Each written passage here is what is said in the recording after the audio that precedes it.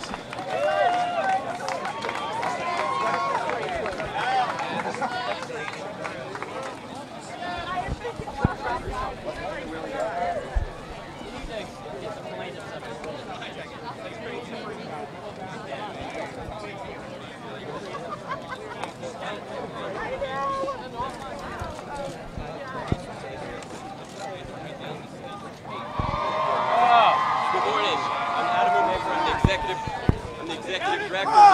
Foundation for Equal Rights. Uh, it's my great privilege to be here this morning with the plaintiffs' legal team and founding board members of the American Foundation for Equal Rights. Uh, speaking first will be David Boies. Down in front! This is a great day for America. Ten years ago, the United States Supreme Court Lawrence against Texas, took the first important step Down in front! guaranteeing that all Americans, regardless of sexual orientation, are equal citizens.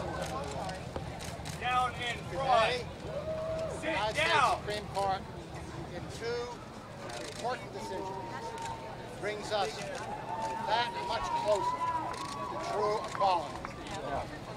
The decision striking as Hey, down in front, please. the so-called DOMA and the marriage case. The United States Supreme Court held that there was no purpose for depriving gay and lesbian couples of the right to marry the person they love. There was no legitimate justification for that. As Justice Scalia noted, that holding, that principle, guarantees the rights of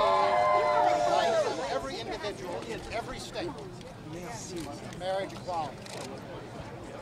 In the California case, the Supreme Court held that the proponents of Proposition 8 did not have standing.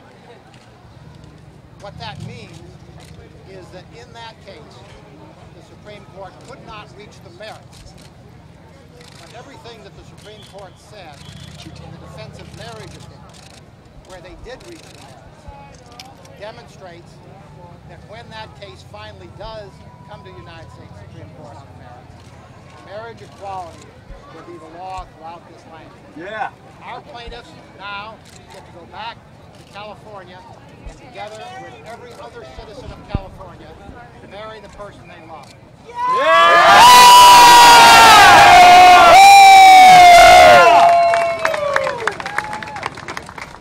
And the next step is to translate a promise that was in Lawrence, that was reaffirmed, reaffirmed today in the DOMA case, that every citizen in every state has the right to marry the person that they love.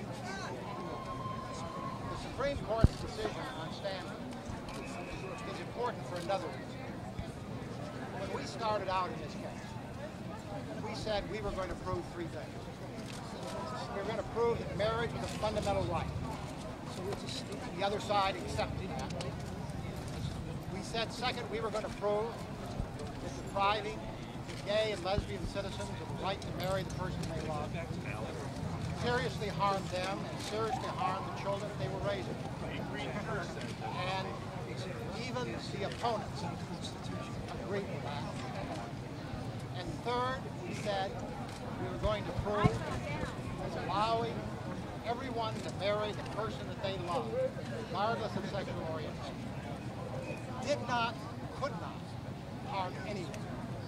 And not only did the proponents on cross-examination have to accept that, but today the United States Supreme Court said as much because they said the proponents have no concrete reason. They cannot point to anything that harms them because these two loving couples, couples like throughout California, are now going to be able to marry. And so this is a, this is a wonderful day for our plaintiffs. It's a wonderful day for everyone around this country and in California in particular who wants to be able to marry the person they love. But it's a wonderful day for America because we have now taken this country another important step towards guaranteeing the promise that's in our Constitution and our Declaration of Independence all people are created, and all people have the inalienable right to life, liberty, and the pursuit of happiness. So this is a great day. We thank the Supreme Court. We thank all of you, and perhaps most important, we thank all of the people who devoted so much to this battle for so many decades. People who did it at a time when it was not as easy for Ted Olson and myself to go into court.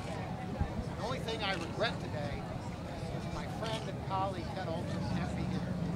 He has been leader in this battle the last four years. He is unfortunately today another court, another part of the country, arguing another case. But his spirit is here, and he will be with me tonight, we will celebrate. Because this is a victory, not just for us, not just for the plaintiffs, not even just for the people who have worked for this for many decades, all Americans. Yeah!